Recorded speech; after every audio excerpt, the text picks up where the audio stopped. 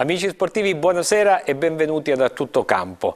Partita in colore del Pescara a Chiavari con Lentella, 0-0 il risultato, senza emozioni e con tanta noia. E questo è il resoconto della partita scorsa del Pescara. Parleremo in questa puntata naturalmente delle prossime due gare casalinghe, sabato con la Cremonese e poi il martedì successivo con il Carpi. Parleremo anche della questione chiamiamola così, Castel di Sangro. Ma intanto gli ospiti della serata. Un saluto e un bentornati naturalmente a Walter Nerone e Luigi Mascia. Buonasera. Buonasera. Buonasera. Trovati. Gli altri ospiti della serata li presento subito. Flavia Tortorella. Buonasera. Buonasera. Poi c'è Vincenzo Minguzzi, bentornato anche a te. Grazie. E ad Alessandro Alberti. Buonasera, Buonasera grazie dell'invito. A questo punto, sigla.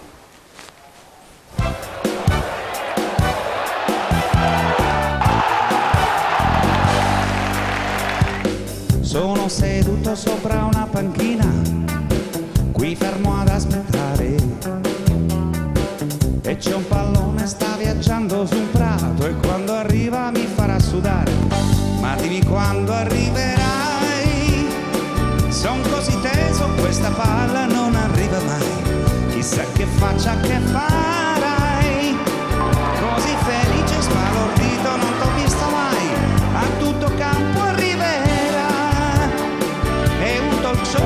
pescara qui si parlerà. Chissà che faccia che farai, quando la vedi alla televisione rimarrai senza parole. Clicca se seguici.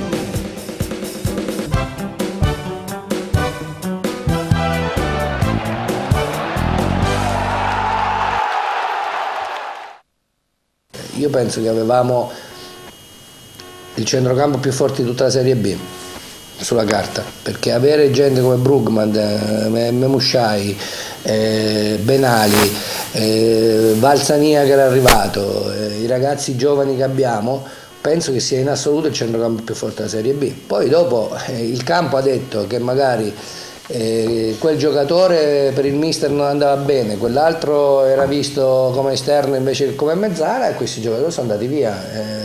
Ma non è che possiamo dire che quelli che ci sono oggi sono più scarsi o non sono zemaniani o lo sono di più o di meno di, di Memusciati. Io non devo provocare nessuno, vi posso assicurare, se non avessi stima nel mister l'avrei già cacciato, quindi non, non c'è assolutamente problema e dubbio su questo siccome io ho grande stima nel mister, ma ho grande stima anche nei giocatori che abbiamo. Voi ritenete eh, il nostro direttore Pavone un, uno zemagnano di, di? Di ferro? Sì, sì. Eh, eh, se il nostro direttore eh, all'inizio del campionato o, o anche addirittura nel, nei sei mesi precedenti quando il mister è arrivato ha ritenuto perché poi di fatto questa è stata la valutazione ha ritenuto che questi giocatori avessero le caratteristiche per giocare con il mister o, o Pavone è rincoglionito oppure eh, vuol dire che c'è qualche cosa che non va.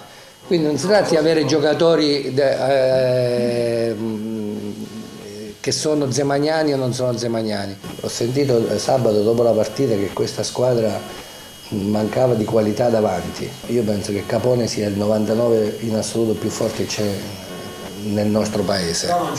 Un giocatore, eh, ma non è mica facile la formazione. Eh, la formazione purtroppo non la faccio, non credo che sia inferiore ad almeno 3 o 4 che ci precedono, almeno anche 4 o 5 che ci precedono in classifica. Ci state già pensando a confermare Zeman? Zeman non ha mai chiesto la luna. Dipende anche un po' dalla, dalla, dalle direttive della società. Noi in questo Dovevamo migliorare, stiamo cercando di farlo perché poi è sempre la società che deve dare la linea. Quindi diciamo che è ancora presto. Ma sicuramente sì, perché siamo all'inizio del girone di ritorno, dobbiamo fare tutto il girone di ritorno, probabilmente magari arriveremo in fondo, il Pescara avrà vinto il campionato e Zeman vorrà andare alla Juventus. Magari arriveremo in fondo, non siamo andati nei playoff e Zeman va a casa. Ma queste sono cose che succedono nel calcio. Comunque una cosa strana è essere intervistati da un allenatore. Certo il presidente che viene intervistato da un allenatore è veramente una cosa è, strana. È un allenatore che intervista il presidente allenatore. Assolutamente sì. sì. Dal, prossimo, bella, no? dal prossimo anno saremo anche colleghi. Bene, dopo questo sorriso, dopo queste provocazioni eh, di Massimo Profeta, bravissimo eh, a provocare il Presidente, c'è da dire, torniamo sul serio, che questa è una intervista che fa capire molte cose di come stanno andando le cose nella Pescara Calcio e di quella che è la gestione della, della, della squadra. Allora, una critica continua e velata, Walter, nei confronti di, di Zeman, con eh, dei riferimenti ben precisi, se no sarebbe andato via, se non raggiunge l'obiettivo eh, l'avrei già, lo caccerei, insomma questo, di questo genere. Una critica eh, particolare anche nei confronti del direttore Pavone, addirittura si parla insomma, eh, in modo con qualche parola anche un pochino sulle, sulle righe eh, di lui insomma. E... Eh, beh, diciamo che... E alla fine, alla fine, alla domanda se verrà confermato Zeman, e naturalmente il Presidente Sebastiani dice che bisognerà vedere quali saranno le direttive della società, società che poi è formata sostanzialmente da lui stesso. Sì, da Sebastiani e da Sebastiani. Ma oddio, adesso dal mio punto di vista non vorrei sembrare più presuntuoso di quello che normalmente sono, non c'è niente di nuovo in questa intervista se non il tono un pochettino. Che Sebastiani fosse convinto che la squadra dell'anno scorso con un paio di ritocchi poteva fare eh, una, una, ottima Serie B, diciamo, era, era risaputo. Che Zeman non considerasse eh, diciamo 8, forse 10 undicesimi di quella squadra eh, idonea alle sue, diciamo così, ai suoi progetti, mi pareva abbastanza chiaro. Quindi cosa è successo? Che in estate hanno fatto ognuno la parte sua. Sebastiano ha cercato di tenere fino all'ultimo quelli che lui considerava i migliori e finanziariamente, economicamente sostenibili. E Zeman ha chiesto una batteria di, di ragazzi. Dopodiché insomma, il campionato è andato come è andato, quando le cose non andavano bene sono scoppiate le, le scintille. Dopo il mercato di gennaio, al termine del quale eh, Zeman ha detto adesso siamo più squadra, guardando le partite col Perugia, quella di Frosinone e ci metto anche l'ultima eh, con, con eh, sì, mi stavo confondendo adesso con l'Entella. Eh, so, non mi pare di vedere questa squadra in più, questa più squadra, questa squadra migliore. Vedo una squadra che non, non trova più la porta.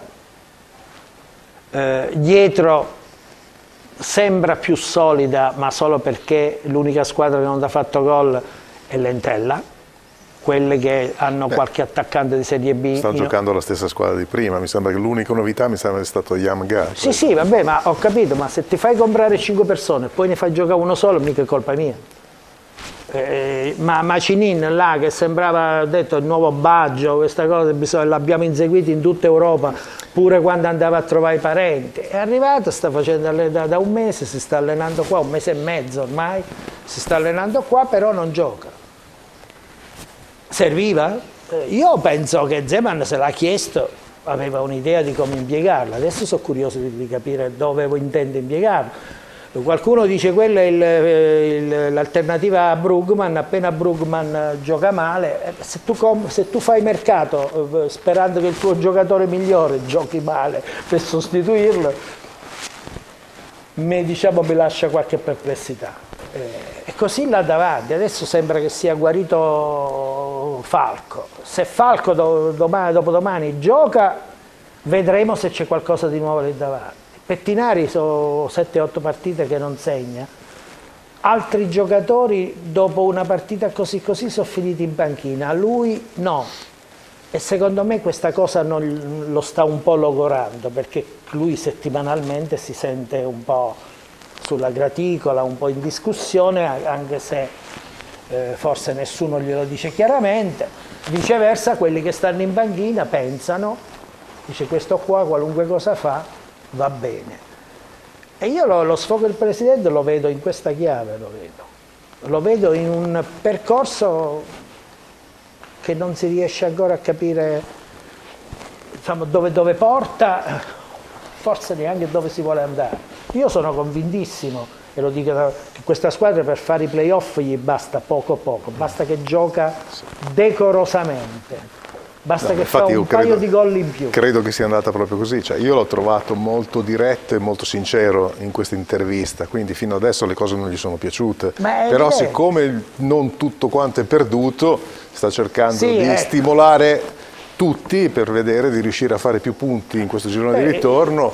Per, se- se uno perché viene- per arriva- arrivare ai playoff ci vuole poco, se uno me, viene eh, da perché Marte, c'è, veramente se uno poco. viene da Marte vede che sta giocando dopo due anni di assenza e vede che giochiamo con il Campagnaro leader della difesa dice oh c'è Campagnaro e e di che stiamo a parlare ma se poi gli spieghi che Campagnaro c'era già e Gravillon è un altro di quelli che abbiamo inseguito per quattro mesi che sembrava è la panacea di tutti i mali della difesa ha giocato 20 minuti eh, e non lo, non lo stiamo a vedere più eh, allora uno si chiede perché perché e non per discutere Campagnaro, non per discutere Campagnaro, ma c'era bisogno di acquistare i nuovi Fiamozzi, perché è stato preso? Cioè, do- dopo il mercato ci ritroviamo con Balzano e Campagnaro, i due più vecchi dell'organico. E abbiamo inseguito i ragazzini all'asilo, al nido. Li siamo andati a prenderli ai NAG, alle scuole, alle scuole calcio, eh, agli under, agli under 14. Beh, è chiaro Li che se- abbiamo inseguiti, se- dopodiché ricomincia il campionato 37, 30 e 32. Se vuoi rinforzare una squadra, il mercato di gennaio devi prendere dei titolari, perché se prendi Bravo. delle riserve... eh, Bravo, ma noi siamo di un'altra epoca. Fai Siamo numero, no, io dico parlo in generale, eh, poi dopo io non conosco le condizioni di quelli che stanno fuori, può essere pure che stiano bene magari eh, e, e fra un pochino No, giocheranno. ma io Però adesso io aspetto Falco e, e voglio Ma capire Falco- lì in mezzo cosa cambia. Falco è un ottimo Cosa cambia? giocatore, però secondo me gioca a destra, quindi va fuori Yamga, perché il ruolo è quello, eh. in maniera completamente diversa, però la posizione è la stessa. Sì, sì. Alessandro, volevi intervenire? dire in maniera molto concreta, considerando anche il quadro odierno che sta vivendo il mondo del calcio, che lo snodo retrocessione, ripartenza in Serie B non è molto semplice da, da riuscire a, a gestire, quindi c'è eh, anche questa, questa componente che comunque crea dei problemi, oltre evidentemente a due modi di intendere il calcio evidentemente diversi. Credo che la difficoltà sostanziale sia proprio quella di riuscire a far coincidere le esigenze dell'allenatore con quella del presidente, de- de- della società e anche dei tifosi. Ma dopo una stagione come quella dell'anno scorso ti posso assicurare che è molto ma molto difficile.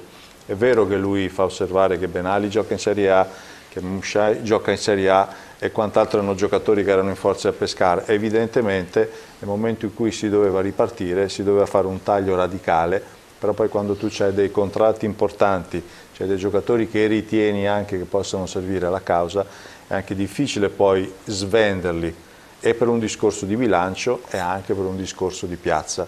E poi nel momento in cui tu retrocedi e regali, io vorrei vedere se il quadro odierno si fosse verificato a settembre, cioè dopo il calciomercato andavano via Benali che aveva fatto qualcosina l'anno scorso, i titolari nonostante la stagione sia stata disastrosa, che commenti avremmo fatto? Adesso c'è una situazione dove il Presidente ovviamente è stato molto sincero, c'è questa diciamo, quest'aria frizzante che secondo me mantiene anche alta diciamo, un pochettino l'ele- l'elettricità, però ci sono delle- anche delle difficoltà oggettive da tenere in considerazione. Ecco, io eh, Luigi vorrei anche parlare di qualcos'altro, anche del, del futuro, perché se il Pescara dovesse raggiungere i playoff tutto bene, perché tutto sommato sembrerebbe questo l'obiettivo, almeno a detta di Sebastiani. Se non li raggiunge eh, il Pescara avrà fatto un campionato di, di transizione. E in ogni caso si è capito che nel prossimo campionato, comunque dovessero andare le cose, non ci sarà Zeman e non ci sarà neanche Pavone. Innanzitutto basta con questa storia che Sebastiani non sia simpatico a Pescara, perché secondo me nelle ultime settimane il presidente Sebastiani l'Oscar della simpatia in città se lo ha aggiudicato perché le interviste, forse sarà Massimo Profeta particolarmente stimolante sotto questo aspetto, riesce a metterlo a suo agio, ma sono davvero simpatiche, insomma, sentir dire, e mi ricollego alla tua domanda, che sarà società, le direttive della società a stabilire qual è il futuro di Zeman e, e di Pavone, insomma, è tanta roba eh, dal punto di vista. È vero che in Italia poi un comico ha avuto successo, è riuscito a fare un partito politico, magari noi riusciamo anche ad andare in Serie A, a rimanerci prima o poi, eh, con tutto l'affetto veramente straordinario. E, ma poi ci siamo persi una battuta, forse in Italia hanno fatto un decreto legge, l'hanno convertito in legge, per cui Zeman e Sebastiani devono stare insieme, mi sono perso qualcosa. Ma eh, ragazzi, ma eh, questa squadra qui eh, era la stessa squadra che l'anno scorso, quando è arrivato, ed è arrivato a parere di tutti, a togliere le castagne dal fuoco di, una, di, un campionato disastroso come quello dello scorso anno ed è arrivato Zeman, questa è la stessa squadra, o quelli che venivano citati, erano quelli che con Zeman hanno vinto una sola partita col Genoa che giocava contro il proprio allenatore in quell'occasione. Quell e si poteva pensare che Zeman con quella squadra da cui non aveva tirato fuori niente perché poi il prosieguo del campionato di quel campionato fu altrettanto disastroso come era stato l'inizio, potessero essere quelli giocatori da cui ripartire con il centrocampo e, e che Zeman stimasse quei giocatori. Io non l'ho mai pensato, però è anche vero che eh, tutti confidavano, io credo il Presidente in primis, nel fatto che con Zeman si potesse ripartire da una squadra di giovani e probabilmente quei, quei giocatori lì non appartenevano a questo tipo di progetto. Oggi questa tensione continua. Io, loro dicono che può far bene al pescare, io dico che è diventata una cosa di settimana in settimana davvero insostenibile, anche agli occhi di chi vede tutta questa situazione. La sensazione è che sono, sono due separati in casa. Da una parte c'è uno che non si vuole dimettere perché non conosce la parola dimissioni e dall'altra c'è un presidente che non lo vuole allontanare, non lo vuole mandare via per ragioni diverse, per non prendere un nuovo allenatore, perché ormai tanto comunque la salvezza è a portata di mano. E allora se parliamo di playoff dobbiamo essere anche sinceri e onesti, questa squadra è una squadra fino adesso mediocre. Io scorrevo la classifica mh, sabato sera, dopo le partite che si sono disputate in questo fine settimana, e forse ad eccezione del Carpi, guardando un po' le squadre che sono davanti al Pescara, sinceramente tutte in un campionato comunque che non è straordinario, in un campionato in cui adesso sta uscendo l'Empoli come mattatore di questo campionato, ma è stato un campionato di grande equilibrio, però tutte le squadre che sono davanti al Pescara meritano di essere davanti al Pescara perché comunque fino adesso hanno dimostrato qualcosa in più del Pescara. Oggi, come oggi, se il Pescara è quello dell'Entella, eh, ma il Pescara è anche quello che abbiamo visto nelle ultime settimane, il Pescara si metta l'anima in pace il Presidente Sebastiani, se la metta anche Zeman, e ce lo, purtroppo ce lo dobbiamo mettere anche noi l'anima in pace, oggi quel Pescara non è una squadra da playoff. Manca qualcosa, ma manca più di un qualcosa, una squadra che rumina calcio, una squadra deludente, una squadra che ha difficoltà ad arrivare nell'area di rigore avversaria, ha una difesa facilmente perforabile e una difficoltà cronica a segnare. Oggi purtroppo è così. E secondo me queste diatribe, la, la, battuta, eccetera, non aiutano, cioè è evidente che questi dovranno andare avanti fino a maggio, fino alla fine di questo campionato e dopodiché, e dopodiché alla fine ognuno andrà per la propria strada e si è capito che sia Zeman che il direttore sportivo Pavone eh, dovranno trovarsi un futuro altrove, probabilmente si partirà, si ripartirà da Luca Leone perché nelle settimane scorse Sebastiani ha espresso giudizi lusinghieri sull'altro direttore, ma è evidente che siamo già eh, ad una pagina voltata. Addirittura in città qualcuno dice che Stellone abbia già preso casa a Pescara. Io ho sentito questa in qualche bar, non so se è la verità, non so se sono rumors, però intanto si registra anche questa cosa. Poi Vox Populi, Vox Day. Allora, fra poco coinvolgeremo anche Flavia Tortorella su un altro argomento eh, che andremo a introdurre fra pochissimo, quello della questione del Castel di Sangro. Adesso pubblicità, poi torneremo di nuovo in diretta per parlare di questo caso uscito proprio nelle ultime ore.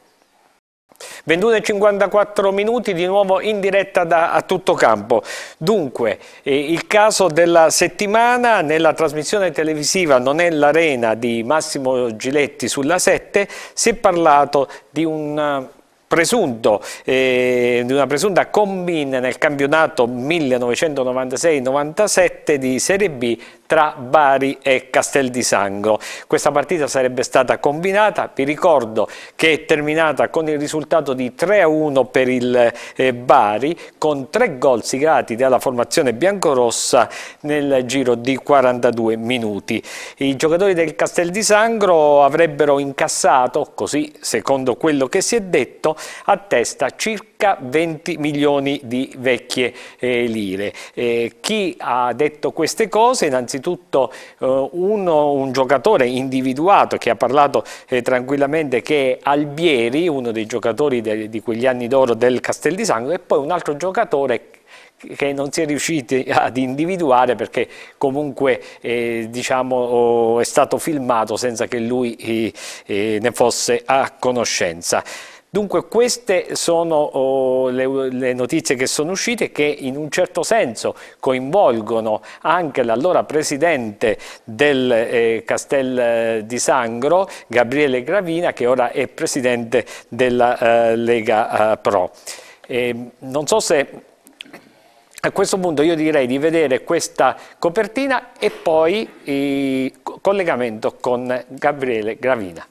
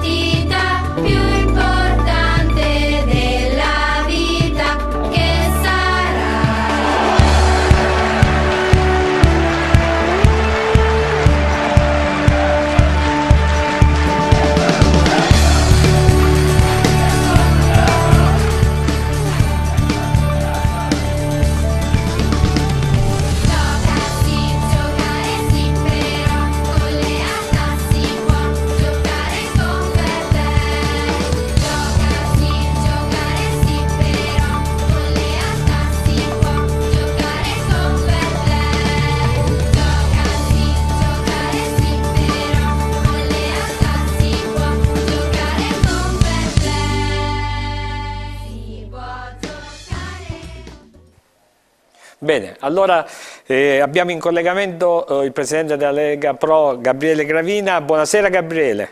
Ciao, buonasera, buonasera, buonasera. a tutti. Senti, allora, eh, naturalmente eh, tu hai lasciato già delle dichiarazioni, hai mh, detto che avresti querelato, eh, adesso sentiremo chi, ma dici subito, fu una gara truccata? Ehm, non so se preferite una risata o qualcosa di diverso, perché mh, mm, guardi, a me la cosa che stupisce di questa, di questa vicenda è che eh, si cerca di parlare di un argomento eh, avvenuto e nessuno a volte dà eh, l'esatto posizionamento nel tempo dell'evento. Stiamo parlando di un evento che si è verificato 21 anni fa. Eh, ripeto, 21 anni fa, perché altrimenti si corre il rischio di posizionarsi in maniera diversa. Qualcuno innanzitutto dovrebbe chiedersi perché dopo 21 anni e questo lascio a voi qualunque tipo di interpretazione. Poi dovreste chiedervi perché in questo momento e anche qui lascio a voi un'altra libera interpretazione. Ehm, la partita, voi sapete, eh, perché siete stati tutti eh, testimoni di eh, quella stupenda cavalcata di quegli anni, eh, conoscete eh, le persone, perché anche di questo stiamo parlando, stiamo parlando di persone, non stiamo parlando di oggetti, eh, posizionate correttamente eh, i vari personaggi, mettete ognuno al proprio posto e capirete tutto quello eh, che si sta cercando di eh, mettere in atto. Dico si sta cercando perché credo che tutto eh, trova una sua giustificazione nei comportamenti, tutto trova giustificazione nella, mh, nella pochezza delle argomentazioni e soprattutto eh, nelle contraddizioni dei vari protagonisti. io ho letto un'intervista di Luca Albieri eh, che è stata pubblicata credo ieri mattina e Luca Albieri ha detto non ho mai detto che era una gara truccata, ho solo annusato, infatti io non a caso ho chiesto se posso recuperare il, il suo uh, recapito telefonico perché uh, se mi potesse dare la sua disponibilità, visto che c'è un nuovo ruolo, l'annusatore di uh, posizionamenti illeciti, io lo utilizzerei in Lega Pro per capire dove avvengono gli illeciti perché un conto è eh, avere elementi oggettivi, l'altro è annusare. Ecco, questa forma di annusare e dire poi eh, con dati eh, assolutamente precisi, circostanziati, tutta una serie di eventi dopo 21 anni, la cosa mi puzza. Però stranamente l'unico argomento sul quale di solito i calciatori sono particolarmente sensibili, e sono sui soldi, riguarda, riguarda i soldi, al domanda se aveva percepito il premio ha dichiarato di no. Ebbene esiste una busta paga in cui lui ha percepito un premio salvezza di 30 milioni di vecchie lire. Non è vero che hanno preso 20. Il premio salvezza di quell'anno regolarmente depositato in, in uh, Lega di A, allora perché era Lega di A e di B, è stato di oltre 800 milioni di vecchie lire. E come sapete ci sono delle norme precise il premio collettivo deve essere depositato per metterlo in busta entro la data del 30 settembre, quindi all'inizio del campionato. Stiamo parlando di un premio depositato, certificato nove mesi prima. Spero che questi elementi facciano capire di che cosa stiamo parlando. Ecco Gabriele, eh, al di là di quello ecco, degli episodi che si sono eh, verificati, eh, questa sembra un'imboscata eh, proprio a Gravina, cioè proprio eh, alla tua persona, ecco.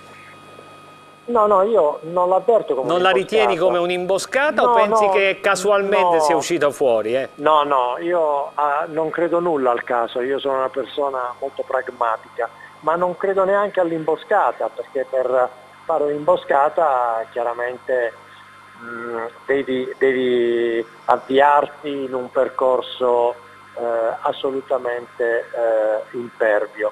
Io sono su una strada lineare, lineare chiara e eh, costellata di, di grande eh, dignità.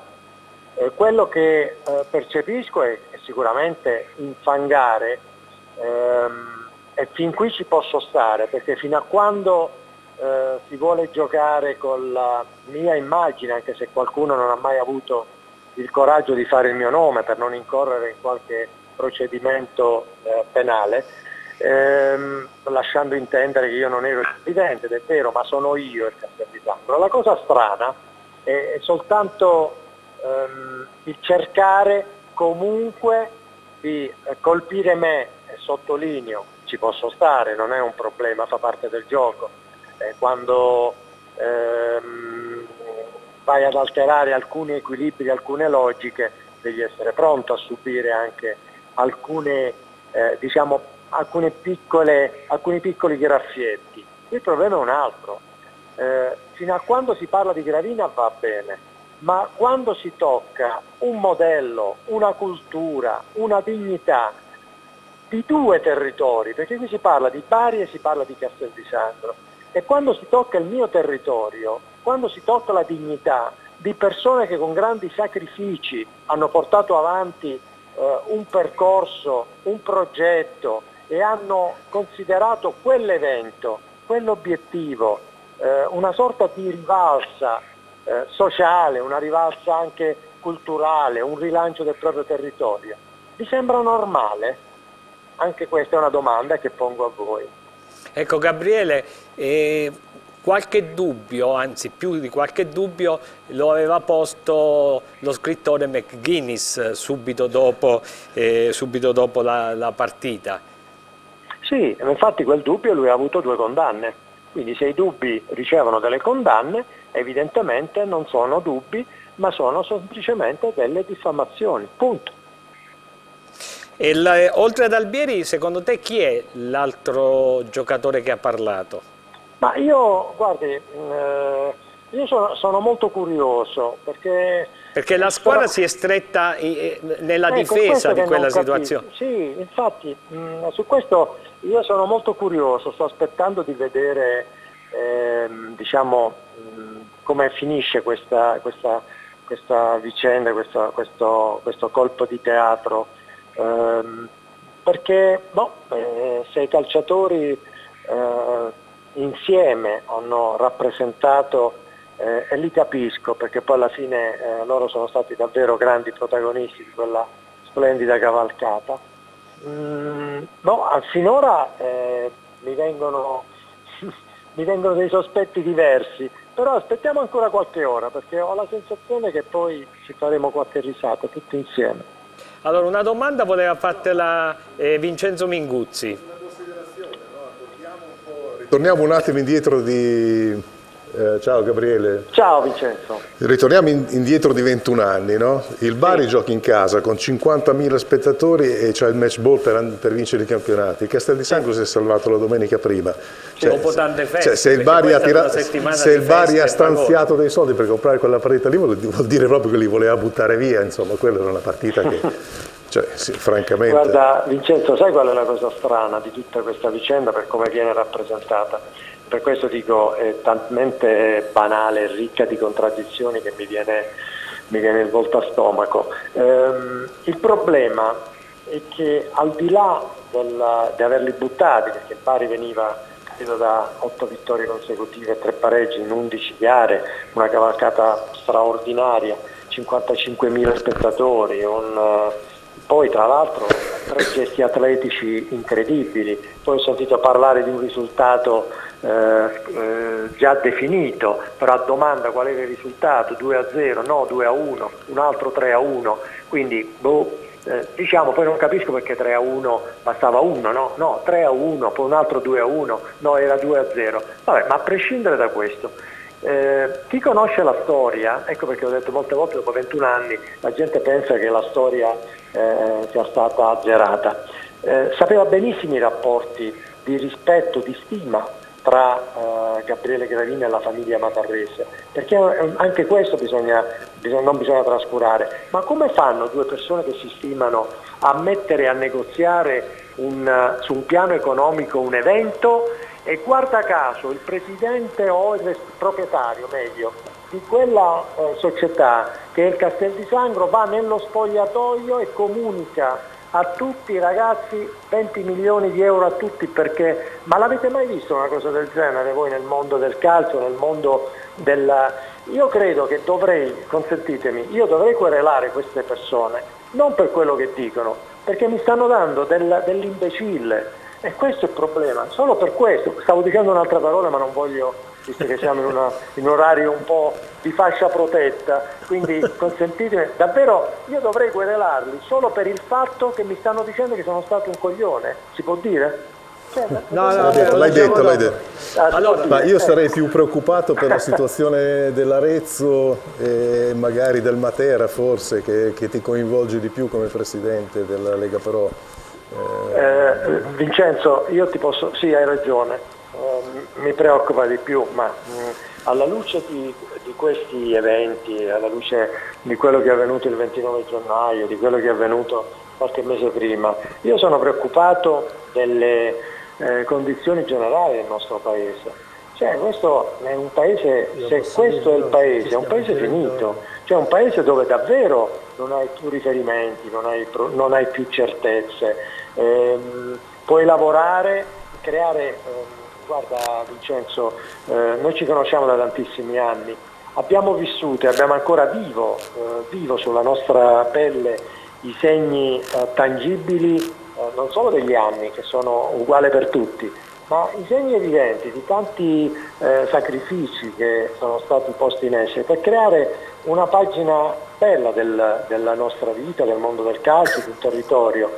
E questo non lo puoi azzerare, cioè, si parla tanto dell'esigenza di pagine belle e tu vai ad infangare qualcosa di bello quando ci sono degli scandali in Italia che credo meritano un'attenzione diversa. Allora questo, questo mh, giornalismo di inchiesta, per carità, ma ben venga, ma su cose reali, su cose vere.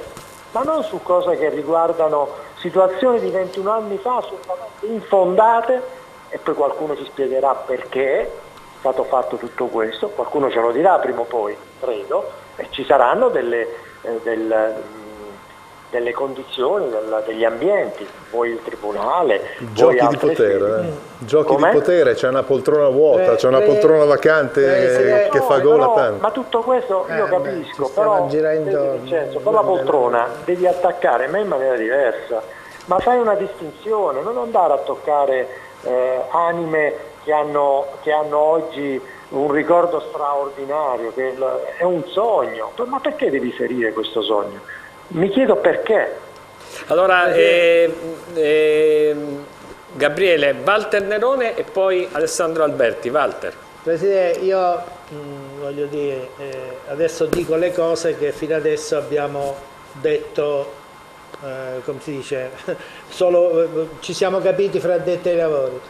Allora, eh, quella, quella, vicenda no, che era impolverata, secondo me non è riemersa con un'inchiesta giornalistica, ma è la classica, la classica eh, pietanza che viene servita già, già condita e che uno che di mestiere fa il giornalista valuta, vede, guarda e, eh, e, e decide poi di, di, di pubblicare o di rendere nota. La, io mi chiedo una cosa sola. Eh, Gabriele Gravina, schiettamente, oh, premesso che con questa, rispolverando questa storiaccia di vent'anni fa, si tira dentro non solo Gabriele Gravina, ma si tira dentro anche la famiglia Matarrese, che nel calcio non è che c'è passata un po' così, no? Quindi si, si fa un cocktail meraviglioso e alla fine io dico ma secondo te, Presidente, se non c'era la candidatura alla FIGC, qualcuno avrebbe riscoperto quella vicenda? Assolutamente no. Eh, allora, secondo me la cosa nasce e muore qua, perché chi ha un briciolo di, di, di, buonsenso. di buonsenso si chiede sempre la famosa domanda, no? Cui prodest? Eh, qui c'è la domanda e la risposta in automatico, eh, dal punto di vista giuridico, calcistico e anche penale, credo, sono fatti prescritti. Sì, possiamo anche ridiscutere se Orazio e Curiazzi fu una lotta leale o qualcuno aveva eh, un, un pugnale nascosto, ma non è che cambiamo la storia. Secondo me la storia del Castel di Sangro bella è stata, bella è e bella resterà. Mi dispiace umanamente per te che ti hanno tirato per la giacchetta in questa vicenda, ma credo che lo scenario sia la vicenda FIGC. Ma io, guarda, io non, non lo so, non voglio, eh, purtroppo sono ancora un inguaribile romantico, quindi eh, dico che eh, la valuto come un'operazione da audience, un'operazione da scoop, un'operazione di qualche ragazzetto che va in giro con le telecamere nascoste a carpire qualche atto di goliardia da parte di qualcuno di qua e di là e poi ci ricama perché poi alla fine eh, questi, alcuni freelance purtroppo hanno l'esigenza anche, ed è giusto che guadagnino anche qualcosina. Il, um, quindi io ho sentito, ho visto, hai centrato perfettamente il tema, non c'è un problema di uh, uh, natura uh, sportiva, mh, non c'è un problema di natura penale, non c'è problema eh, di altro genere. È stato detto in trasmissione, io eh, l'ho visto la mattina dopo, eh, che eh, si tratta di, una, mh, mm, di, un fatto morale perché la morale non va in prescrizione. Io lo, sono d'accordo, devo sottoscriverlo, però mi chiedo come mai, adesso io eh, sono uno di quelli che non ha mai, mai lanciato una, una pietra contro alcune persone, però se tu vuoi parlare di morale credo che lo scandalo più importante del calcio italiano sia stato Calciopoli. Non mi dai una lezione di morale e quindi non, non fai apparire un programma di alta moralità con una persona che è stato, credo, la persona che abbia rappresentato uno degli scandali più importanti del calcio italiano. Bravo, bravo. Era l'altro punto che ti volevo dire. allora, Alessandro Alberti. Ciao Gabriele. Ciao Alessandro. E intanto ovviamente ti sono solidale perché è già stato detto tutto. Io al San Nicola ovviamente c'ero perché papà era il direttore sportivo sì, del Bari. Sì. Io credo che se quella partita fosse stata giocata per 20 volte il Bari avrebbe vinto 3, 3 a 0 20 eh, volte di fila perché... Ma non solo contro il Castel di Sangro. Ma no, perché peraltro c'è un aspetto saliente. Quel giorno non vinceva nessuno. Ma non avrebbe vinto nessuno, ma tra le altre cose il Bari eh, nelle ultime 11 gare ne aveva vinte addirittura 9 sì. e la partita precedente era stato uno spareggio drammatico che aveva giocato il Bari a Foggia sì. e, e, se ti ricordi bene eh, l'arbitro era Collina, fu l'unica sì. partita nella storia del calcio che italiano dove non si fece l'inversione di campo esatto. perché quando Franco, il compianto Franco Mancini che allora giocava nel Bari dovette difendere i, i colori del Bari sotto la curva del Foggia praticamente dalla curva dei tifosi de, del Foggia allo Zaccheria pioveva di tutto. Io credo e, e, ribadisco quello che hanno detto anche gli ospiti di, di questa sera che è, è questa è una è un attacco vigliacco, oh, vergognoso nei tuoi confronti. Io ovviamente eh, ti sono vicino, ti, ti, ti sono solidale e quant'altro, però credo che un'azione legale di quelle pesanti eh, debba essere, debba essere eh, legittima perché non, non, non, ci si può oh, svegliare eh, dopo vent'anni e infagare, infamare eh, in questo modo così vergognoso gente che lavora eh, nel calcio come te da tanti anni. Gabriele, no, non... sì, prego. Ecco Gabriele, ti volevo fare un'ultima un domanda, ecco, prima di, di, lasciarti ringraziandoti per la tua cortesia. Eh, ma è vero che sei stato eh, invitato da Giletti in trasmissione per eh, domenica prossima? Assolutamente sì, ma non, non, io non, non sono da spettacolo, io non ho bisogno di di visibilità in, in teatri di, di, questo tipo. Io gli elementi che ho a disposizione li ho già comunicati, eh, ci sono dei documenti ufficiali, esistono buste paga che dimostrano correttamente eh, tutto quello che io ho citato, quindi gli altri possono fare illazioni. Come abbiamo detto prima, sulla base di illazioni qualcuno ha subito due condanne penali, sulla base di illazioni eh, qualcuno eh, beccherà la querela perché dimostra di, ehm, di dire delle falsità e quindi eh, la, la, le falsità Quindi vanno... ti, riferisci, ti, riferisci, ai due giocatori o a uno perché adesso ne conosci uno solo o al conduttore della trasmissione? No, io, io chiaramente la, la querela la, non la faccio io, io ho dato mandato ad un avvocato, a un professore penalista che, sa, che ha tutto il materiale a disposizione. Sulla base di questo materiale saranno individuate delle responsabilità. Non, a me non compete, eh, io non amo la persecuzione, eh, detesto le fucilazioni mediatiche perché vedi, se io avrei apprezzato eh, e l'ho comunicato a, a, chi mi ha invitato alla trasmissione, eh, sarei andato molto volentieri alla prima. Cioè se tu vuoi fare un contraddittorio mi chiami prima, non mi chiami dopo per alimentare. Io non voglio alimentare nulla quindi assistere a questa fucilazione su un territorio e credetemi la cosa che mi ha fatto più male è vedere la proiezione di, la ricerca su una cartina geografica di una realtà come se fosse questa realtà sperduta. Io credo che Castel di Sangro qualcuno dovrebbe avere forse anche il piacere di venirci a trovare con la massima serenità come hanno fatto oggi venendo questo, questo, freelance a girare per Castel di Sangro arrivando ieri sera, dove girano liberamente, non si gira armati nel nostro paese. Il nostro è una città libera, una città che offre quello che eh, qualcuno cerca e soprattutto cerca l'accoglienza, la serenità, la qualità della vita e cerca delle strutture che in altri posti non esistono. Quindi eh, tutte queste cose, a farle apparire come questi luoghi sperduti, Mm, non fanno bene. Di questo è chiaro che qualcuno, consentitemi, ne dovrà rispondere. A me per quanto riguarda l'offesa che eventualmente non avendo fatto nomi, ma io ehm, voglio dire, eh, l'ho già detto, sono io, quindi non ho problemi, sono io.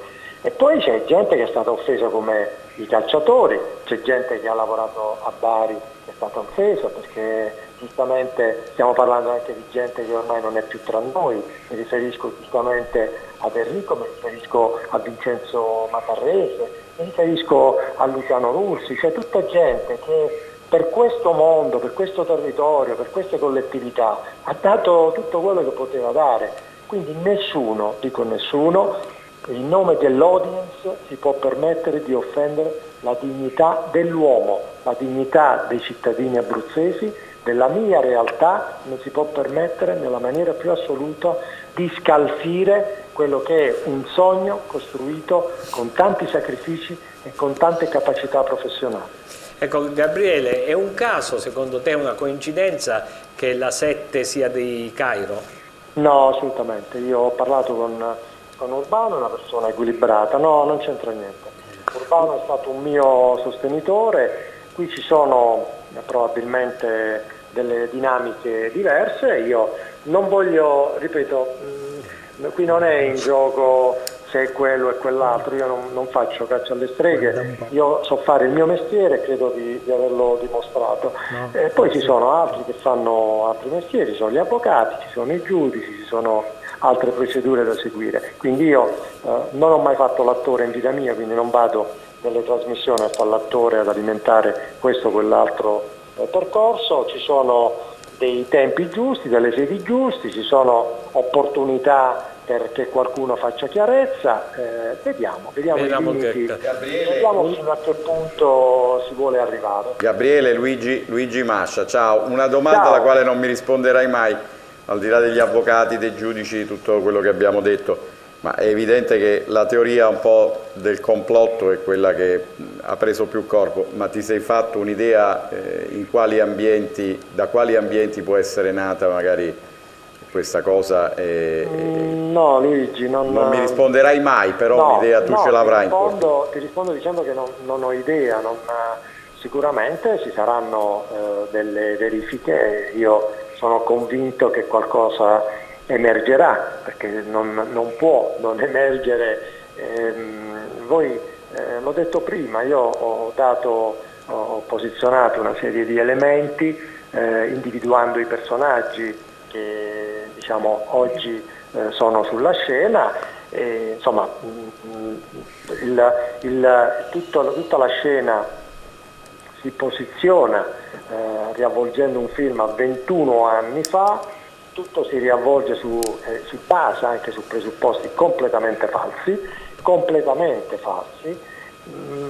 quindi è strano che eh, di 20 ragazzi, ce ne sono oggi due, ma potrebbe diventare uno solo, che anzi oggi è uno perché l'altro è, è Mr. X e quindi mi sembra strano che tutti dicano al contrario, dopo 21 anni, quindi non è che c'è un rapporto di dipendenza no, dalla, dalla vecchia proprietà, sono ragazzi liberi che hanno figli, hanno nipoti, che vivono non so dove, perché io non li sento da un po' di tempo, mi sembra davvero raccapricciante pensare che guarda caso uno solo, uno solo ricorda di alcuni particolari, ma non ricorda, eh, ha risposto se ha preso il premio dice di no, evidentemente la sua busta paga che io ho di 30 milioni di vecchie lire di premio evidentemente gli è sfuggita e questo mi, mi sembra molto strano.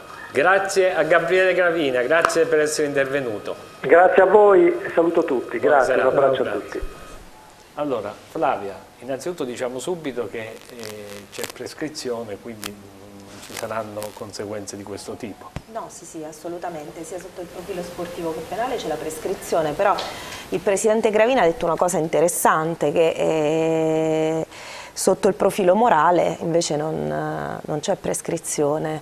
Io vorrei offrire anche una lettura alternativa, non per fare l'avvocato del diavolo, però diciamo che eh, sicuramente il momento, tutti gridano un po' al complotto, io non credo al complotto, ci potrebbe essere anche una lettura alternativa, cioè che eh, a dispetto e a cospetto di un uomo che corre per la presidenza federale, che ha fatto dell'etica eh, della probità sportiva, della lealtà, eh, il suo eh, codice etico e quindi il suo messaggio elettorale, eh, questo possa aver svegliato anche gli animi di chi vedono un uomo di questo tipo correre per la presidenza federale. D'altronde voglio dire, gli scandali, eh, tanti scandali sono, eh, sono venuti fuori eh, tutte quelle volte in cui alcuni uomini, ad esempio dei politici importanti, hanno poi assunto e rivestito dei ruoli più importanti. Quindi voglio dire, io non ci vedo un complotto, potrebbe essere così. intanto tecnicamente non si tratta di illazioni, ma si tratta comunque di testimonianze rese da eh, persone informate sui fatti e quindi voglio dire, è sì un'intervista giornalistica, ma una delle due addirittura, eh, come ha detto lui, è stata carpita. Ecco, allora, proprio perché è stata carpita, bisognerebbe capire come mai eh, questa persona, pur non sapendo di essere ripreso, eh, si è determinato a fare delle dichiarazioni false, perché poi sostanzialmente comunque la linea del Presidente è che appunto queste dichiarazioni siano prive di fondamento, destituite di, di ogni fondamento. Dice eh, anche eh, ce n'è uno, ma poi tutti gli altri... Per chi non sapeva di essere ripreso non c'era motivo di, non, di, fare quel beh, tipo di dichiarazioni. Effettivamente non, non, ne vedo, se effettivamente è stata carpita con dolo allora non c'era un motivo per, per mentire. E così come sì è vero la dichiarazione è una, eh, tuttavia se ne potrebbero aggiungere altre di testimonianze. E comunque sono eh, fatti che hanno trovato già un punto di appiglio nell'immediatezza dei fatti e che oggi vengono sicuramente ehm, eh, alla ribalta eh, pubblica in un momento delicato, ma è un momento delicato proprio perché credo ci sia appunto ci sia stata questa corsa alla poltrona a capo dello sport italiano e quindi magari eh, del calcio italiano, magari ecco qualcuno si è sentito di voler, di voler, rilasciare delle dichiarazioni, poi assolutamente c'è tutta la mia solidarietà, anche perché chi più di me può eh, sapere come ci si sente ad essere condannati mediaticamente prima che un'autorità giurisdizionale abbia fatto il suo corso, abbia eh, effettivamente accertato in sede penale eh, la verità del fatto. Quindi assolutamente l'ampia solidarietà al Presidente Gravina, tuttavia ci sono a mio avviso eh, delle letture alternative che dovrebbero essere setacciate. Allora, Minguzzi e poi la pubblicità. Sì, no, se vogliamo darle una lettura diversa si può, ci si può dare anche con un attacco al calcio, cioè magari il Castel di Sangro è venuto fuori di conseguenza, magari però un attacco veramente al calcio che chiaramente a livello scusa, di audience scusa, televisiva prima, eh, diventa, diventa la forte. prima, in quello stesso riquadro della trasmissione, era venuta fuori la storia del ragazzo eh, il procuratore truffaldino, tu mi dai i soldi io ti faccio giocare a eh, Monopoli piuttosto che a, a, a, Lisbona, piuttosto che a Budapest. Cioè lì c'è un filone. Eh, infatti. Diciamocelo chiaramente, Giletti dubito che abbia mai fatto giornalismo d'inchiesta sportivo. È bravissimo su altri campi, ma non me lo ricordo impegnatissimo nel calcio. In quel reparto, in quel settore, tra l'altro, io diciamo, dal punto di vista dell'opportunità ho qualche riserva. Eh, usa come, come, diciamo, come, come controcanto Luciano Moggi, che adesso può essere visto come il massimo del nero e il massimo del bianco nel calcio. Io personalmente ho, fatto, ho subito 5 ore di, inter di, interrogatorio, di cui poi non fu verbalizzata una parola, dalla Procura federale che voleva sapere che ne sapevo io e che cosa aveva fatto Moggi gli anni famosi, no? quando facevo le inchieste io. E personalmente disse guarda ne ho sentito parlare che peggio non si può ma non mi dite che l'ho visto non, mi, non, vi posso dire che l'ho visto rubare un bicchiere al ristorante. Quando lo saprò ve lo dirò. Quindi quello, quella, quella cosa, quel siparietto là a me mi inquieta un po' perché come dire, sembra fatto per provocare reazioni forti. Adesso si va da, da una cosa che, di cui tutti parlano no? Gli intrallazzi da procuratori più o meno corretti con eh, giocatori di, diciamo così, di, di, di dubbia, eh, di dubbie capacità, a, eh, andiamo a finire una storia di vent'anni fa, quando nella settimana o nelle settimane che subito seguono la vicenda Castel di Sangro. Sembra quasi che su quel separietto televisivo qualcuno qualcuno voglia innescare qualcosa. e secondo me il, la presenza di Lucianone Moggi al netto di io non so manco che cosa faceva all'epoca quello due anni che io calcio non l'ho seguito proprio facevo altro. E, non c'entra ovviamente niente con la vicenda perché che io sappia non ha mai lavorato per Castel di Sangre e Bari, no? Sì. Eh, però ecco, conferisce un'immagine un, un po' particolare a queste vicende, il semplice fatto che venga usato come interlocutore.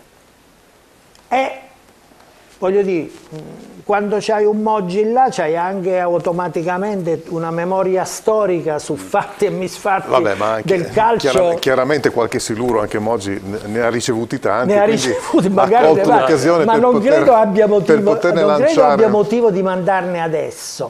Però voglio dire, è un, è un, è un, si è creato un cocktail, eh, francamente Beh, hanno capito che l'argomento tira e chiaramente eh lo sì, cavalcano. con la presidenza federale in ballo, eh, poi hai ritirato dentro pure, io adesso, prima per esempio non ci stavo pensando, cioè in quella vicenda lì, se ci stanno di mezzo le società, hai tirato in ballo tre personaggi rispetto alla, alla cui memoria ci dobbiamo soltanto che togliere il cappello e che non ci stanno più. Eh, ma forse è proprio questo, cioè proprio questa memoria L'unico sopravvissuto finisce sulla graticola. Eh, e, anche la presenza di, di, uno come Luciano Moggi, che è stato eh. radiato dall'ordinamento sportivo, credo che significhi proprio questo, cioè eh, si sono volute scambiare le poltrone proprio perché si vuole mettere sotto i riflettori chi ha pagato e forse si vuole far luce anche su chi non ha pagato. Non lo so, è sì, un'idea, no, no, ma è una tesi, non possiamo tesi sottrarci È una tesi che potrebbe essere pure la mia non possiamo È una tesi che potrebbe essere pure la mia, ma eh,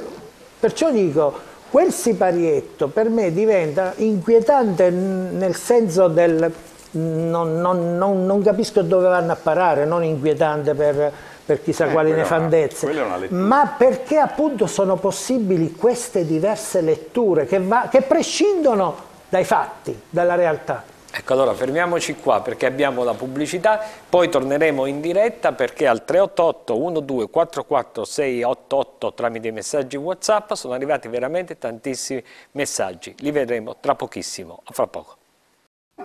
22 e 35 minuti, ancora in diretta, abbiamo avuto la telefonata eh, esclusiva con Gabriele Gravina che ci ha detto quello che pensa di questa situazione, ne abbiamo parlato tantissimo, abbiamo parlato di Sebastiani e la sua intervista eh, rilasciata proprio a Rete 8 e poi anche in conferenza stampa e vediamo ora che cosa dicono, che cosa pensano i tifosi o gli sportivi da casa. Allora, tirate in porta, rivolta ai giocatori, grazie.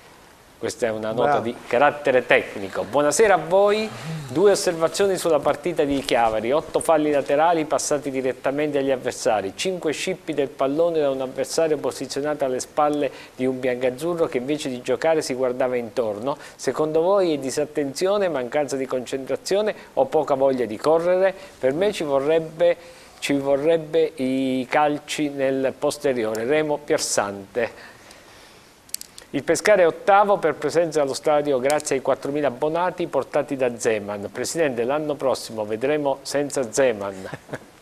e qui è un'allusione a quelle cose di cui abbiamo parlato prima. Solo Sebastiani ora parla di playoff, non c'è traccia di una sua intervista che dica queste cose. Comunque i tifosi non sono stupidi e se quest'anno puntiamo ai playoff l'anno prossimo deve essere promozione diretta, non credete? Questa società è criticabile su molti aspetti perché non crea la giusta armonia cercando di voler prevalere su Zeman facendogli la guerra non dichiarata. È chiaro che con Zeman troverà sempre risposte allo stesso livello e penso giustamente. Presidente, anche sei anni fa, se non vendeva Verratti, faceva qualcosa per trattenere Insigne ed Immobile, potevamo rimanere in A, visto che prende un allenatore e poi lo critica. Zeman sta facendo miracoli, basti pensare che gli ha dato ad esempio due giocatori che poi dopo tre mesi smettono di giocare per fare i dirigenti. Per ragioni di opportunità non rivelo il nome del giocatore che non fa più parte della squadra e al quale mi lega una solida amicizia. Ebbene questa persona mi conferma che attualmente come prima la squadra non segue il suo allenatore ed è totalmente autogestita. Ecco, questo è, è, è, vorrei commentare questo, ecco, chi è che... Eh, eh, facciamo un'altra su questo Vincenzo. No, no, ma io non, non so, sono Su questo messaggio, ecco, secondo te la squadra è autogestita? Adesso al di là del giocatore che l'ha detto, dell'amico, eccetera. Vabbè, non credo, insomma. c'è un allenatore, c'è uno staff tecnico, c'è una società dietro, io non credo che anche, anche, le persone che stanno gestendo, tra virgolette, controllando il lavoro dell'allenatore e dei giocatori comunque avrebbero capito questa situazione e non avrebbero comunque sarebbero intervenuti. Io non credo che tutti quanti facciano finta di niente adesso, cioè uno va vanno di moda eh. i giocatori che parlano perché poi si riferisce a un ex giocatore del Pescara, mi pare il messaggio. Cioè, evidentemente se ne è andato felice. Oddio, è che però questo Pescara anche a un certo punto, dopo quelle partite in cui siamo stati recuperati, poi tu eri molto contento di quel Pescara, 0-0-1-0. Un Pescara difensivista. Certo, non hai attaccanti, non li pigli. Che non aveva niente niente di Zeman e tuttora non ha niente di Zeman, in effetti allora, beh, stasera siamo alla teoria dei complotti e della dietrologia, però oggettivamente il risultato è che questa squadra del proprio allenatore non, non ha proprio tracce, non ci sono tracce. Sì, Se poi c'è qualcuno che le gestisce, sarebbe carino sapere chi Zeman, è quello che però... dà, sarebbe carino sapere chi è il leader di questa squadra, ecco, perché dire, Vincenzo ha giocato, ma l'autogestione, l'autogestione ci vogliono i leader. Campagnaro appena entrato non può essere perché prima non c'era. Potrebbe essere Sebastiani come allenatore. Eh, come si chiama? Eh, ma dice la squadra autogestita. Benali eh, se n'è andato, no, Pettinari non mi pare che sia uno eh. che può dire ragazzi si gioca come dico io, non, non state a sentire sto vecchietto. Cioè chi lo dovrebbe fare l'autogestione? Chi è il, il leader della chi gestione? Ha, chi ha questa persona? No, ma non, non, credo. Allora vediamo un altro messaggio, vediamo altri messaggi da casa. Forse meglio. Che non venga recepito il verbo dell'allenatore è più probabile, però altro discorso. Buonasera, non capisco come mai non gioca mai Macin. Non è che gli è scaduta l'assicurazione? Questo è molto divertente. Allora, buonasera a voi tutti. Eh, una volta il grande e inimitabile Enrico Alberti mi disse che costruire una squadra è come avere un puzzle con 11 tessere. Vanno incastrate ognuna al suo posto. Se hai due tessere uguali non puoi completare la, la tavola oppure devi adattare una delle due tessere nello spazio libero. A luglio avevano due estremi alti a sinistra Esterno. e ne abbiamo aggiunto un altro ed è rimasto vuoto a destra dove è stato adattato uno dei tre. Capito il problema? Remo Piazzante. Eh, a questo posso rispondere così o, valutare eh, Enrico, cioè cioè Enrico, Alessandro. scusa, Alessandro, perché Enrico Alberti aveva effettivamente detto questo ed è una verità. Insomma, nel io, Pescara secondo te è così? Io, io, ti ho fatto una premessa fondamentale nel primo intervento di questa trasmissione e ti ho detto quando si riparte dopo una retrocessione con tutta una situazione di scontenti, di ingaggi e quant'altro, c'è sempre un'enorme difficoltà a liberare le famose tessere che evidentemente mio padre, mio padre eh, eh, si riferì. Quindi ci sono delle difficoltà.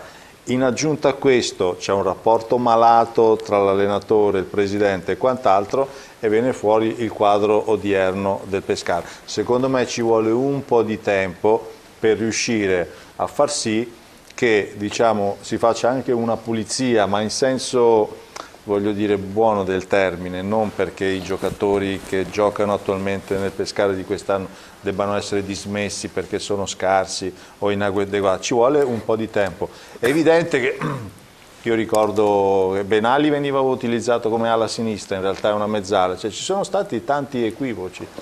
Okay, già, già dall'inizio della stagione. Per me ci sono tante difficoltà proprio a fare mercato, perché c'è un dato oggettivo, al di là de, de, de, delle tessere o delle non tessere, in questo momento c'è proprio una difficoltà enorme nell'operare nel mondo del calcio. C'è una grande crisi, oggi se non ricordo male, e chiedo a Flavia che è un illustre avvocato, mi sembra che anche l'Arezzo sia stato decretato fallito, quest'anno abbiamo il Modena, il Vicenza e l'Arezzo che hanno iniziato no, il campionato. L'Arezzo non è ancora in questa eh, Però siamo, stiamo andando, allora voglio dire, ci sono degli enormi problemi.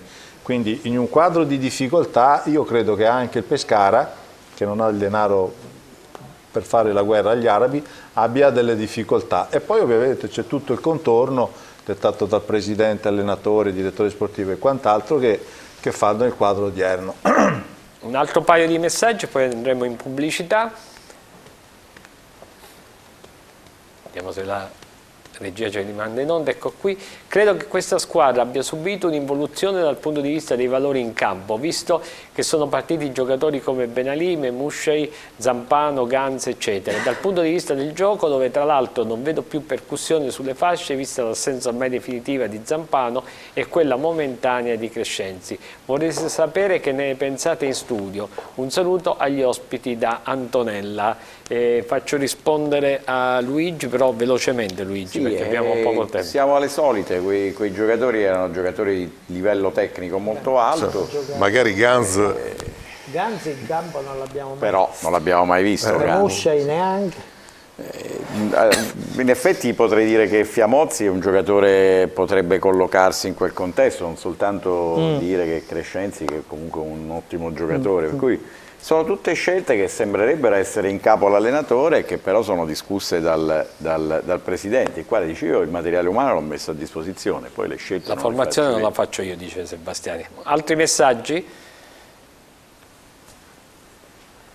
Buonasera a tutto campo, i conti li faremo alla fine, fiducia a questi ragazzi, mm. aspettando primavera, avanti 1936. Eh, Speriamo naturalmente bene. Buonasera, mister Plusvalenza deve andare via, ne abbiamo abbastanza di lui. Se fossi in Zeman porterei il Pescara ai playoff e poi me ne andrei io. Pensiamo a non disputare i playout, altro che playoff, poi per l'anno prossimo si vedrà. Vorrei sapere se Falco in settimana si è allenato regolarmente e se secondo voi sabato potrebbe partire titolare. Su Capone il mister ha fatto bene a metterli in panchina perché se Capone vuole affermarsi a certi livelli e aiutare il Pescara deve mettere più grinta e impegno. Grazie. Potrebbe giocare Falco, eh, Falco potrebbe, giocare, potrebbe giocare. Andiamo avanti, ancora qualche altro messaggio. Che bello seguire una trasmissione dove chi parla di calcio lo capisce davvero. Saluto agli ospiti, sempre molto competenti, e un saluto particolare a Luigi Albore Mascia e Grazie. Walter Nerone. Grazie per i complimenti. No, sei tu quello sempre col telefono. E per i complimenti, complimenti agli opinionisti. Ancora, a questo punto è chiaro che il difetto principale della squadra è l'attacco. Bisogna sperare su Bunino se non segna più Pettinari. Carlo da Pescara. Incredibile, il presidente prima vende i giocatori per fare plusvalenza e dopo dice male al direttore sportivo e allenatore, che brutta cosa. Eh, fermiamoci qui adesso con i messaggi, sono tantissimi, veramente tanti, io ringrazio voi che ci seguite sempre da casa con tanto affetto. Pubblicità, poi torneremo di nuovo per andare a Cremona e vedere come sta vivendo la vigilia la cremonese. Bene, siamo di nuovo in diretta per questo finale di trasmissione. Allora, iniziamo a parlare anche della partita con la Cremonese di sabato e la prima delle due partite in casa dei biancazzurri che dovrebbero cercarne di approfittare. Ma vediamo cosa ne pensa la Cremonese, l'ambiente di, di Cremona. Abbiamo in collegamento da Cremona Mauro Maffezzoni. Buonasera Mauro. Buonasera Pierluigi, buonasera a tutti gli ospiti in studio, buonasera a tutti gli amici di A Tutto Campo eh, dagli studi di Cremona 1, un saluto da Mauro Maffezzoni, una cremonese eh, che arriva alla sfida contro il Pescara in cerca di punti perché nelle ultime quattro partite ha raccolto solo eh, due punti e eh, ha prodotto eh, gioco, ha prodotto tante occasioni ma non è mai riuscita ad essere concreta partita cremonese a caccia di concretezza e con qualche problema a livello di eh, formazione. In settimana per i grigiorossi si è fermato il capitano, l'attaccante eh, Brighenti, che dovrà rimanere fermo per due settimane per uno stiramento alla coscia eh, sinistra per la partita contro il Pescara, però eh, c'è eh, la speranza da parte di Tesserra di recuperare e poterlo far partire dall'inizio l'attaccante Pauligno che ha saltato le ultime tre eh, partite. Un altro altro dubbio di formazione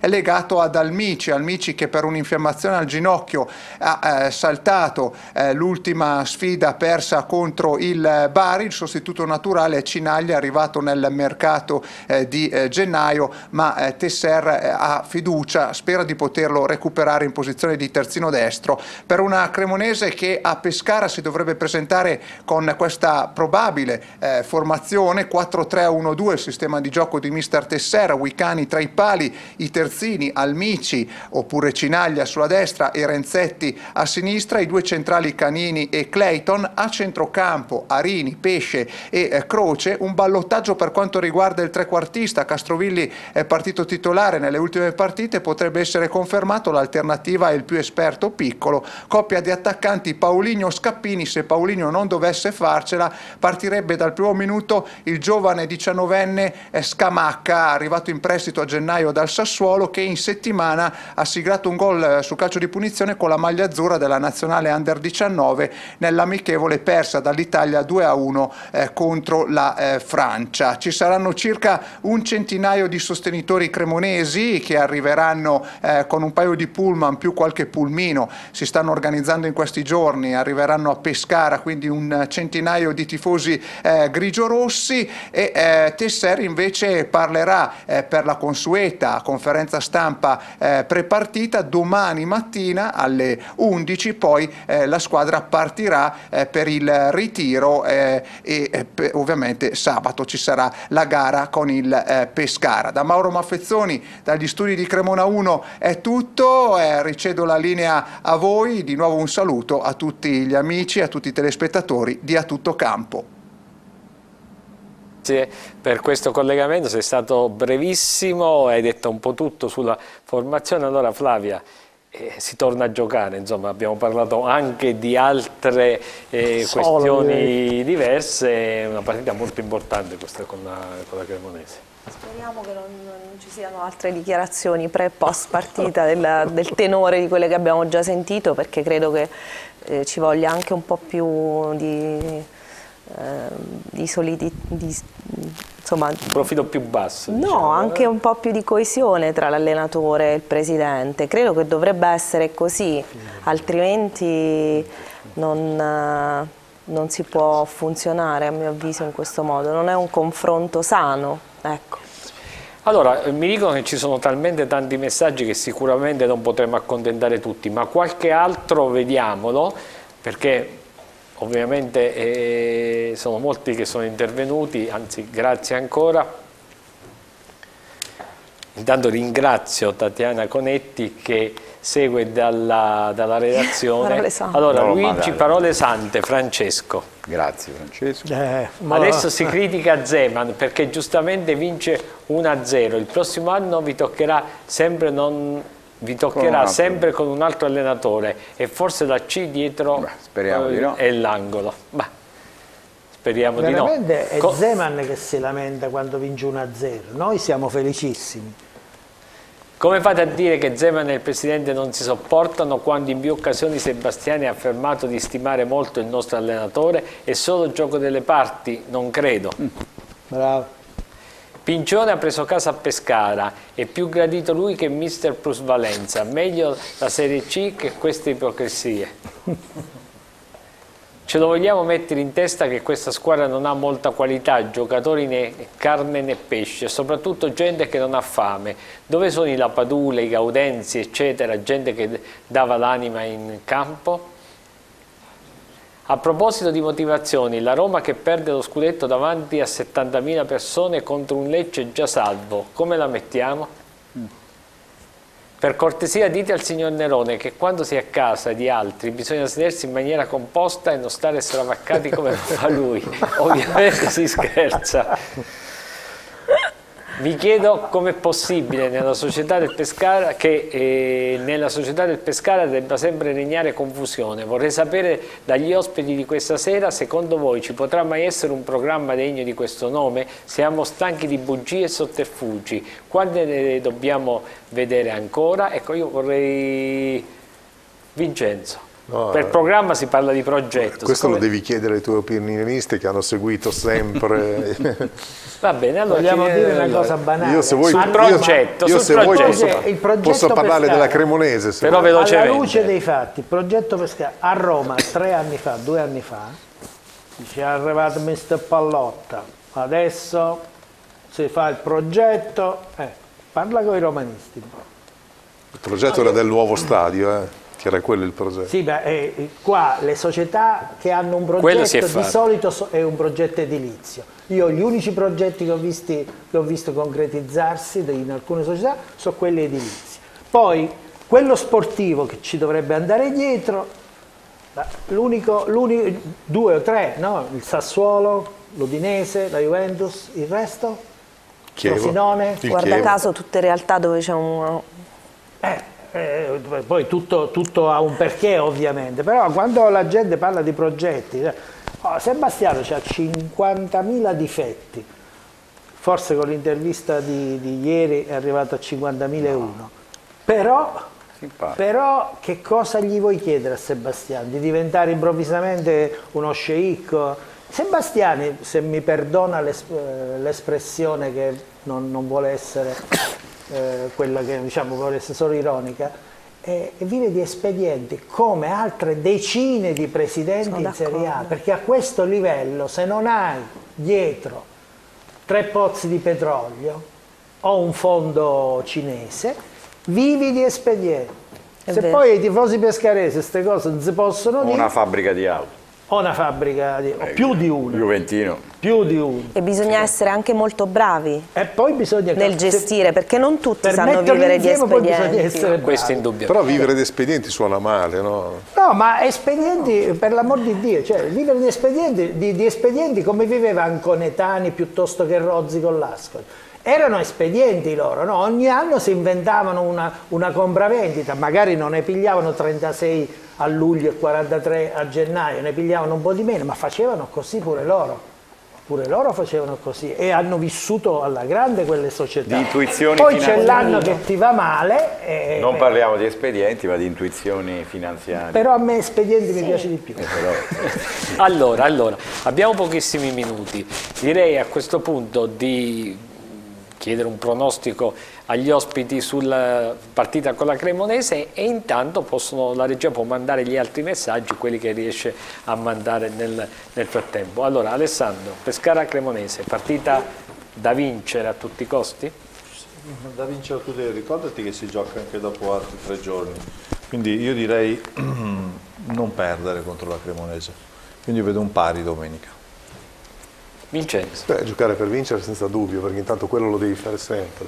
Giocano contro una squadra esperta che ha fatto una rosa tra virgolette mm. importante, manca Brighenti che secondo me è un bel pezzo. Eh, per vincere devono giocare, il Pescara deve giocare con una, con una, velocità superiore, con un po' più di coraggio di quelle delle partite che ha fatto ultimamente, cioè un po' più di ritmo, un po' più di grinta, come diceva prima del telespettatore, cioè ci vuole più convinzione in quello che si fa e un pochino di velocità e la Cremonese secondo me potrebbe soffrire queste qualità. Flavia, l'esperto di diritto passa al tifoso sportivo. Pescara Beh, Cremonese. Vince il Pescara.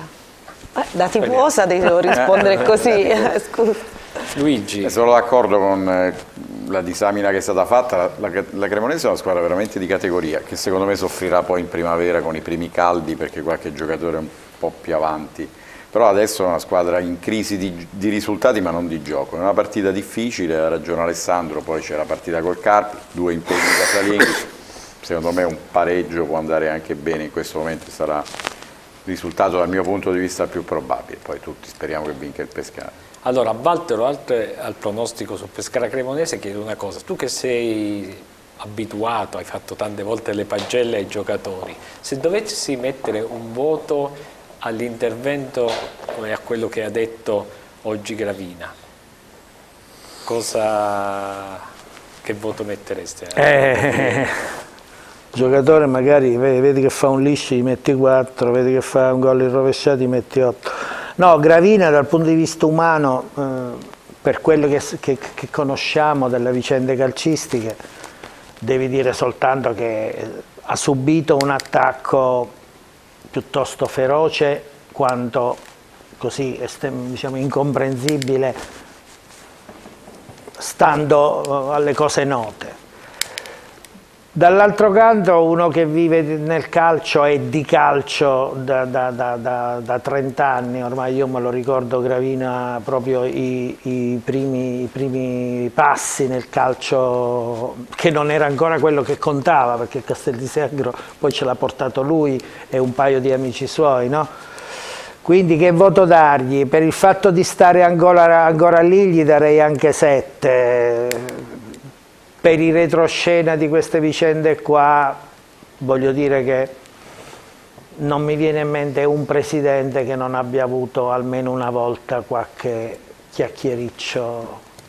Le partite di fine campionato, da che mondo è mondo, vengono chiacchierate tutte.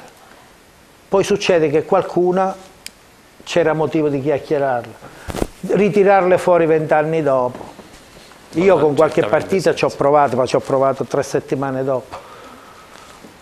Bene. Vent'anni dopo non lo so perché.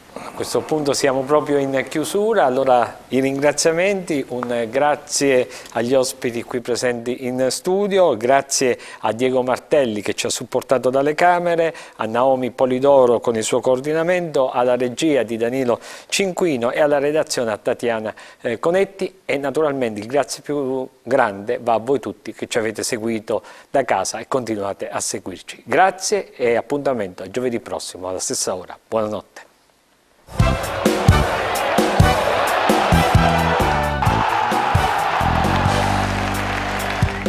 Sono seduto sopra una panchina, qui fermo ad aspettare. E c'è un pallone, sta viaggiando su un prato e quando arriva mi farà sudare. Ma dimmi quando arriverai. Sono così teso, questa palla non arriva mai. Chissà che faccia che fa.